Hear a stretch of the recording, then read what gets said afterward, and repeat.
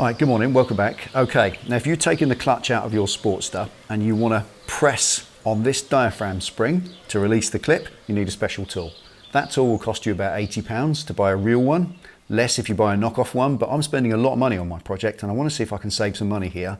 Spending out for a tool I'm not going to use once more than every five years kind of rubs up the wrong way. So today I've got a few ideas. I've seen a few other people's ideas and I think I can make a tool for that out of basic domestic materials for next to nothing and still do it safely.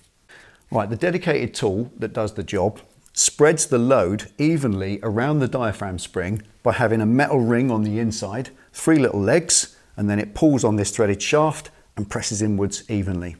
And what I've got to make that ring from is this. It's a PVC pipe socket for underground drainage. Simple piece of fat, thick PVC pipe. I've got to cut it down to about 20 mil thick, nice and evenly. So let's do that first.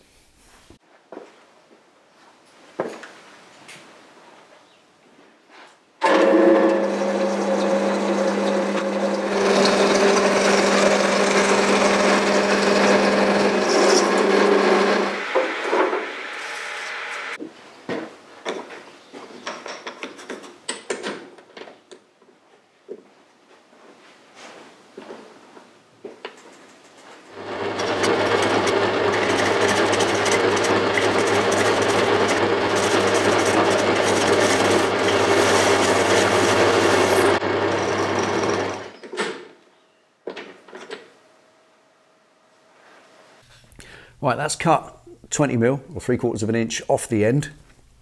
Now that will sit nicely, flat and square all the way around the diaphragm spring. And next what I need is a bridge across the diameter of the tube that I can wind into.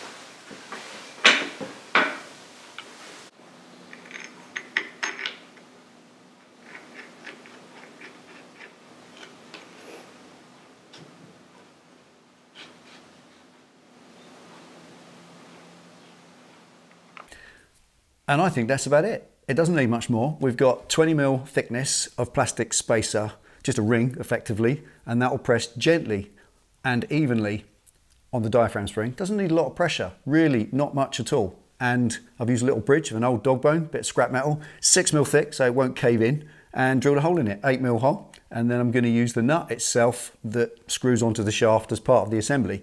And just gently wind that in enough just to take the weight off the clip, and I should be able to take the clutch out.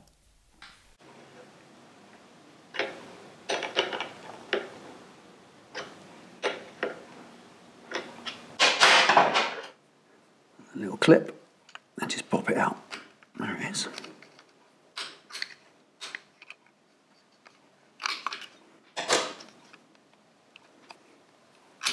Yeah.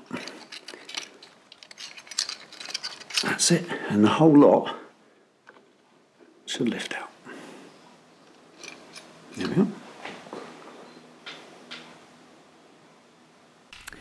Right, whilst the spring is compressed there, if you were throwing a new clutch in right now, you just leave that there. But this is gonna wait for a while because I haven't got the gasket to put all this back together yet. So what I'm gonna do is take the pressure off this spring. It doesn't do for any spring to be held compressed for long periods of time. Obviously that can ruin it. So quickly, bit of eye protection. And then just release the pressure off it